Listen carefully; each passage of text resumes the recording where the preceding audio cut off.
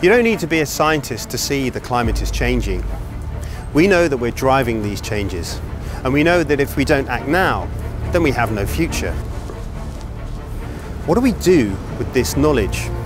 Climate change can feel overwhelming or overpowering. Yet at other times, you may feel that we have all the solutions and that we've got this. This confusion comes from us not being told the whole story about climate change. We aren't told how governments' plans to avoid climate breakdown require the massive deployment of untested technologies. We aren't told how our economic systems have driven us into this mess. And we aren't told just how little time we have left.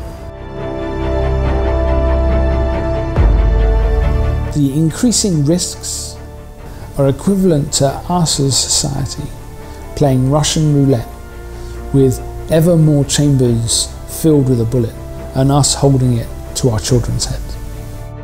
With this kind of script, we end up with a very narrow, market-based, competitive economic theory. It works very well for those neoliberal interests and, and the powers that be. If we're going to transform it so we recognise climate change and extreme inequality, we need to rewrite that script and come up with an economic theory that fits the 21st century. The race is on for the secrets of climate change to be told and the solutions. Because avoiding dangerous climate change doesn't require us living in the Middle Ages. We have everything we need right here and now to make both a safer and a better world.